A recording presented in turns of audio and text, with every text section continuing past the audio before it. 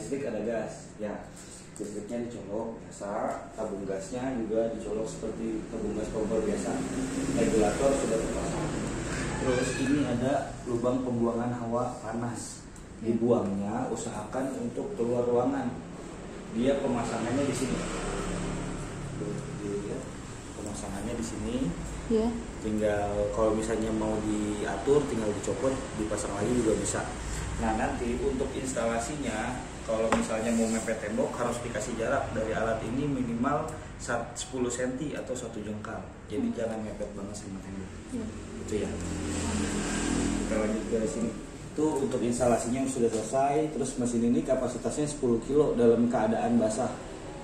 Jadi kalau untuk laundry hanya 5 kilo kering. Ya paham ya di sini ya di sini terus ada filter filter ini wajib dibersihin per satu kali operasi Hmm.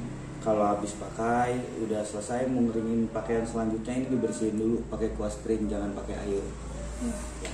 untuk pemasangannya yang lubangnya banyak dipasang di bagian belakang Mm-mm. tinggal masukin pakaian tutup pintunya sampai sempurna di sini ada timer ada 30 ada satu jam ada 1,5 2 jam dan seterusnya umumnya untuk 10 kilo basahnya dipakai di satu jam atau satu jam setengah kalau eh, kebanyakan levis atau baju-baju pakaian tebal gitu kayak sweater, jeans gitu pakai satu jam setengah. Tapi kalau misalnya nggak terlalu banyak pakaian tebalnya di satu jam pada umumnya untuk 10 kilo basah atau 5 kilo keringnya.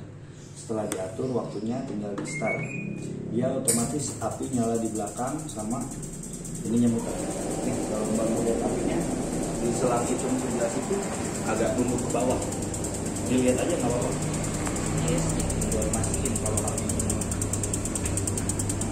Oh iya. ya Iya. nyala Iya. apinya Iya. nah, misalnya di pertengahan jalan nih lagi jalan seperti ini mbaknya mau ngecek udah kering atau dulu pakainya jadi nggak usah nunggu lama sampai satu jam di pause dulu baru dibuka pintunya dicek sekiranya pakaiannya sudah kering silahkan diangkat kalau misalnya belum kering tinggal ditaruh kembali pintunya ditutup lagi. Ini di start. Ini nggak usah diapa-apain. Jadi nanti waktunya berjalan sesuai sisa waktu yang tadi udah terbuat. Jadi kalau pas mau masukin pakaian baru, ini kan modelnya nggak kayak mesin cuci yang berjalan, dia hanya stuck di sini aja. Jadi kalau misalnya masukin pakaian baru, ini selesai, satu jam mati otomatis, diputar dulu ke off, baru diatur lagi waktunya. Paham sampai sini? Kalau kurang paham, kalau apa. Iya. Ya. Tes panas. Sudah panas pegangannya. Oh iya. Panas ya? Iya panas. Jadi mesinnya sudah berjalan dengan normal. Instalasinya sudah saya ajarkan untuk cara pemakaian dan perawatannya pun yang filternya ini dibersihkan sudah saya ajarin ya. Iya. Sama mesin ini ada perawatan untuk internalnya. Biasanya kalau untuk laundry di 3 atau 4 bulan sekali di maintenance, dibersihin. Bisa panggil teknisi dari kita atau panggil teknisi dari orang bisa. Tapi lebih bagus sih di mana beli tokonya di situ aja servisnya. Karena semua spare partnya kita udah siapin. Gitu ya. Sampai sini ada yang lagi yang mau ditanyain ya?